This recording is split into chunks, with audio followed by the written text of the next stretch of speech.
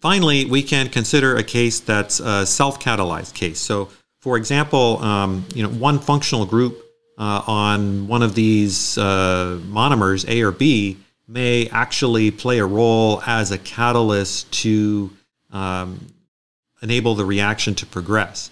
So in that case, we need to also consider the concentration of that monomer uh, as uh, in terms of its catalytic activity. So when we incorporate that into the rate law, say that monomer B uh, functions as a catalyst uh, as well, then we have uh, another concentration of B. So our rate law is K times the concentration of A times the concentration of B squared.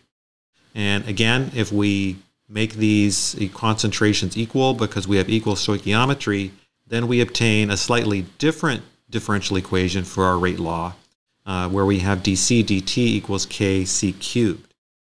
We can again solve this in the same way uh, that we did for the previous cases, and we just find that our relationship is a little bit different. Uh, so our concentration, 1 over the concentration of the monomers uh, in the sample, uh, which again is equal to uh, 1 over 1 minus the extent of reaction, scales with the square root of time uh, instead of linearly with time as we saw in the previous case.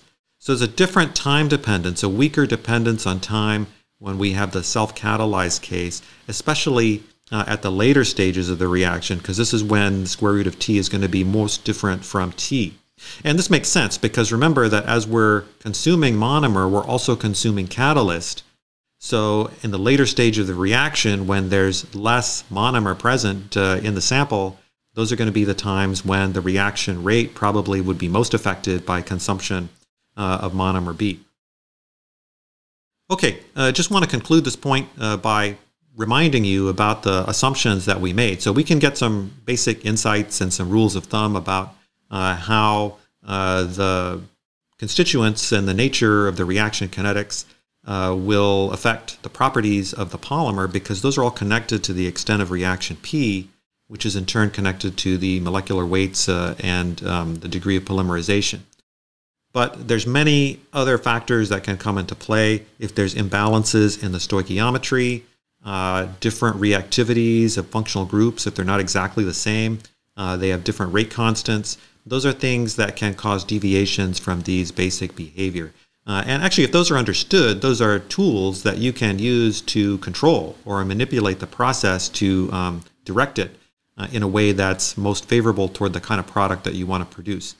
Another thing that can happen is uh, that we haven't talked about is ring formation. So uh, functional groups just need to come into close proximity uh, in order to experience a reaction. Uh, so it's possible that a functional group on one end of a growing chain could find a functional group on the other end of the same chain, uh, and those two could experience a reaction. Uh, so that's called ring formation. So you can imagine that that process will change the molecular weight distribution uh, associated with the, um, the product that you produce. It will drive it away from the, the frameworks that we've talked about before. Uh, one way to deal with this is to just add more monomer uh, because then that increases the probability of interactions between growing polymers and monomers as opposed to growing polymers themselves. Because uh, remember, it's all based on probabilities uh, of these interactions. Uh, it's also possible to have uh, monomer units that are um, provided in a cyclic ring structure uh, and then the polymerization process involves opening that ring uh, to uh, allow them to expose the functional groups. But those are details that uh, come into play later. We're not going to focus on those uh, for this introductory uh, part of the course.